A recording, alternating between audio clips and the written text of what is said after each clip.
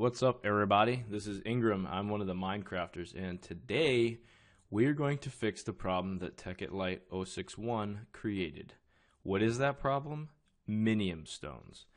With the latest upgrade of Minium stones, Minium stones will now, actually, the latest update of Tekkit, Minium stones will now be destroyed when used in a crafting table. Um, typically, they would just kind of run out, and it didn't matter. But now, when that thing hits zero, the minium stone will be destroyed, and so your factory will come to a grinding halt.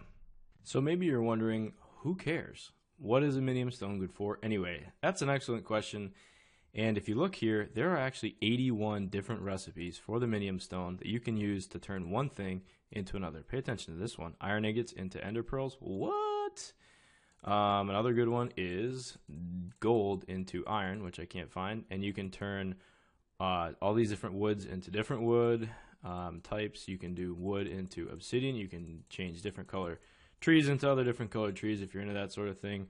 You can convert blaze powder back into a blaze rod if you're doing a maceration rig. Glowstone into 4 glowstone dust, which is the only way to get 100% output. Uh, basically, there's a lot of stuff, and this thing actually, despite what we may have thought at the beginning, turned out to be quite useful. So one of the big problems is minium stones only drop from hostile mobs. You can see a shard there. They don't actually drop the whole stone, they drop shards. They only drop from hostile mobs, and only if the player kills them. You cannot drop a mob, you cannot um, set up a mob grinder rig. You have to actually kill the mob yourself. Or do you? The other problem is the drop rate is not 100%. I just killed like 10 guys and only one dropped. So that's going to be a problem because we're going to need to kill a lot of mobs. In order to get one, it took all those, and we need eight per minium stone.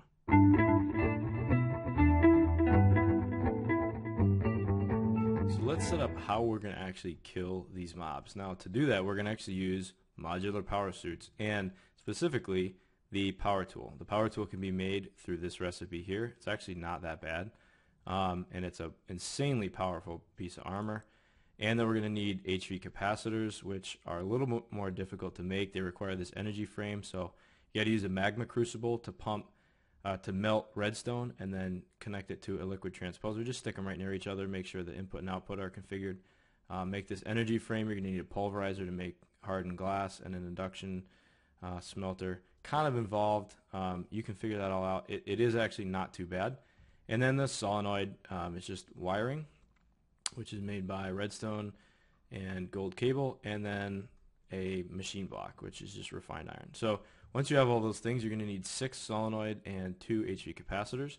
You're going to go into your table, your Tinker table, grab the power tool, click the railgun, install, crank the voltage. We want to max the damage this thing will do, and crank or add an elite battery using the HV capacitor. If you don't want to make one, you're going to have to make an HV capacitor anyway. If you don't want to do one of those, you could probably do the basic battery. Um, the recipe is a little bit easier for the LV capacitor. Um, doesn't really matter, up to you, because we'll recharge it anyway. So we're not going to be carrying this thing around, so we don't care that it's 10 uh, kg each. Um, doesn't matter to us, so we'll just crank the battery size to hold 5 million joules. So now that we have this, we have to actually get this thing set up in a rig that can kill mobs. To use the railgun, you're going to have to actually go into the power tool if you just scroll over to it in your uh, little hotbar down there. And if you hit shift it'll bring up the menu that lets you scroll between the tools. Now since we only have the railgun there's only one and you can see it down the bottom. So what we have to do is this is just a deployer and you can make a deployer with a chest a piston some cobblestone and some redstone.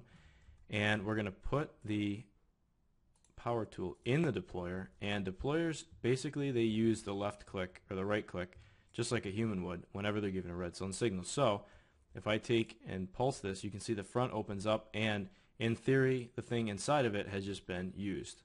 Um, the only problem is okay so we look 747k out of 5 million and if we pulse it again we should see 744k so it uses 2k per shot. So it is being used there's just nothing in front of it. I think I can hit myself but I'm on uh, creative mode so it won't actually hurt me. So what we're going to do is we're going to take this and we're going to put it into the wall of this base. Now I'll get into what's in this base in just a minute, But let me explain how we're setting this thing up. What this is, is here's our deployer and here's a timer. And basically the timer is just hitting the deployer. The deployer has a railgun in it. Um, you can see that it's pulsing and killing whatever's in front of here. We'll get into how to get stuff in there in just a second.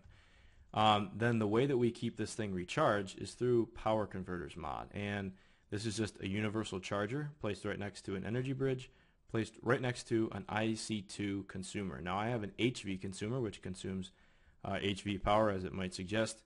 And you can do anything you want here. Um, it's just faster, obviously, if you use HV power.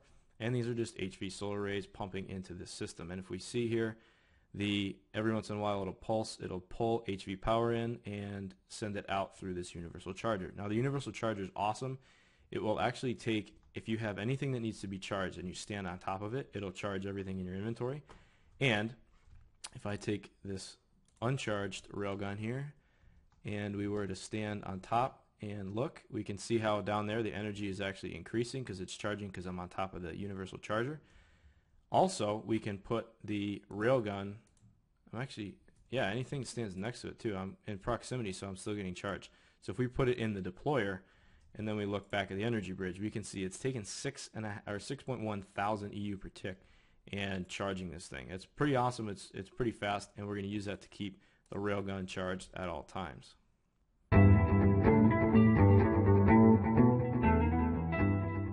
So now we need something to actually kill. Now there's two ways to do this to spawn mobs. Remember, they have to be hostile mobs, so you can't use um, the automated animal farm to create cows or something like that and then kill the cows. They only drop from hostile mobs. So, mob spawners. It is possible to use these without cheating. And the reason for that, there's two reasons actually. One is that mob spawners, uh, I believe there's zombie spider, and skeleton mob spawners that spawn naturally in the world. So all you have to do is find them. Now, you can't destroy these things. You can't pick them up.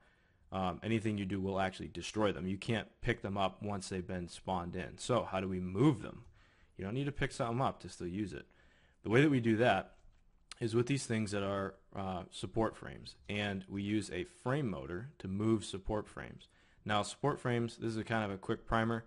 Uh, these things are extremely sticky, and anything that touches them, they will stick to. So if there's a block of dirt on one of these sides, it will try and pull the block of dirt. These things are very finicky. You're probably going to want to clear a nice 3x3 hole whenever you find one of these in the world. Um, we found a bunch of them in our world and marked down all the locations. Basically, just drill down until you get get there, slap one of these support frames on the top, and I put a wrath lamp here. You can put really any lamp. Um, otherwise, this thing will keep spawning as you're trying to move it, and you constantly have to fight things off. Then this is just Bluetricity. Again, to our um, frame motor, you can rotate this thing with a screwdriver, and if you can kind of see there, there's an up arrow behind, um, up arrow right there, and that's what we want to do. So if I pulse this thing, you can see that it's going to move the frames, and along with it comes our mob spawner. So we can take that, and we're going to move a bunch of mob spawners into the inside of our mob farm. The other way of making a ton of mobs to spawn and kill is actually much simpler, but requires um, the automatic animal farm, the automatic slaughterhouse. Uh, check our videos. I'll post a link at the end of this video for how to set that up because it needs this stuff called Mob Essence. Now, this is an Ender tank. These are new in Tekkit Lite 061. They're awesome. They can be color coded just like everything else.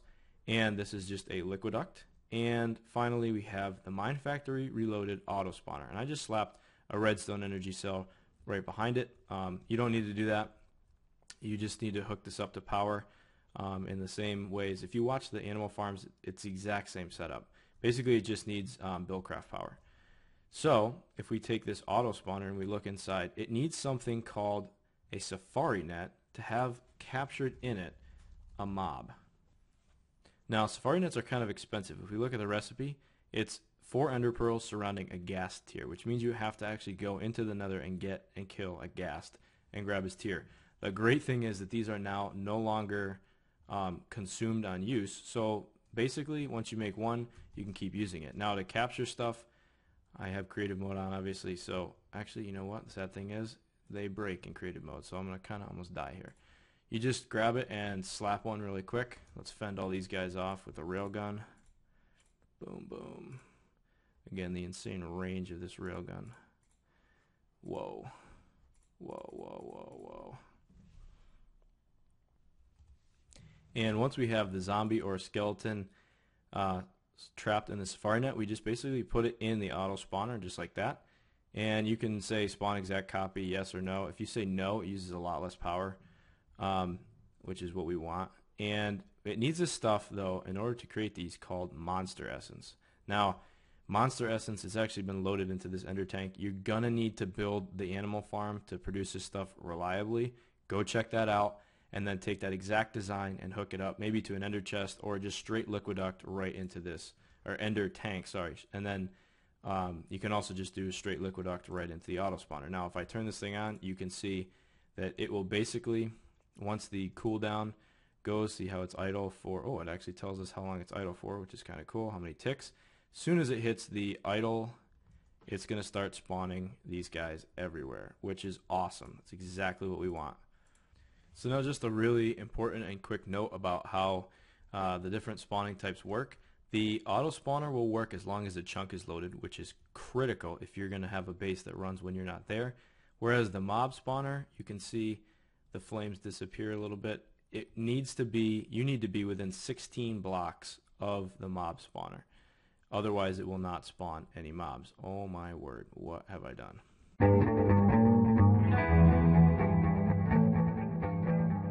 Okay, so while all those uh, zombies I accidentally let the auto spawner spawn in die a horrible and gruesome death, let's check out the real way that they're going to die a horrible and gruesome death going forward. Now, before we dive into this box, let's explain what it's doing. Now, this box is basically a box in which um, no light can enter, and importantly, just as importantly, outside there can be only light. And the idea is that if we turn it to midnight, we can see there's a 17 or 18 block radius around a mob spawner in which the mob spawner will actually try and spawn mobs.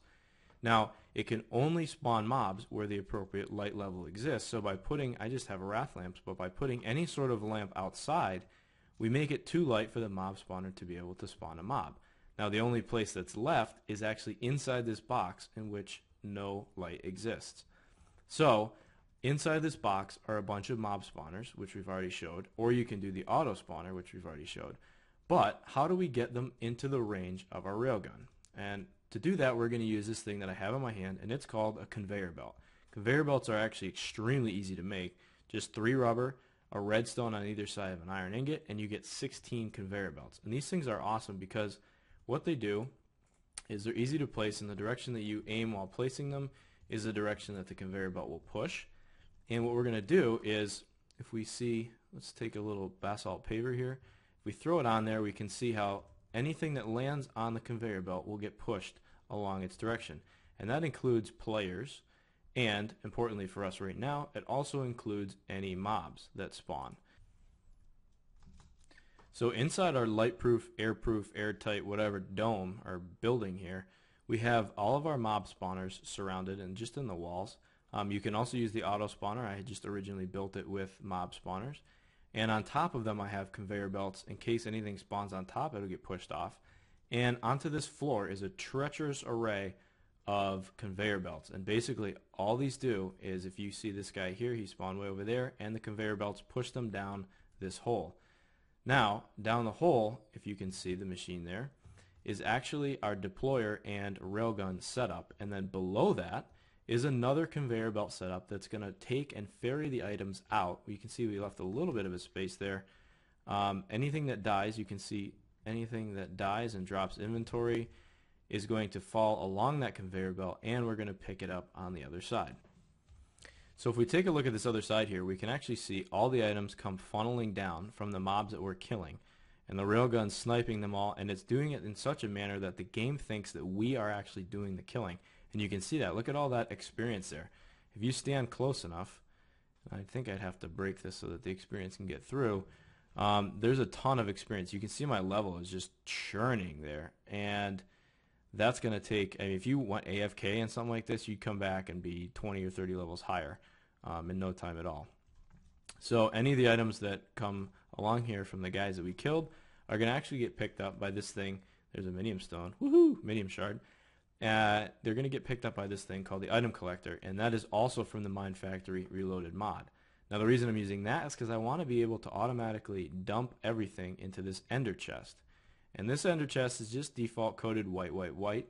Remember there are somewhere over 4,000 different color combinations using the 16 different dyes. Um, don't quote me on that math. I haven't actually done it. I just kind of guessed. Um, and what we're going to do is we're going to use this ender chest in the final setup, which is actually going to build the minium stones themselves.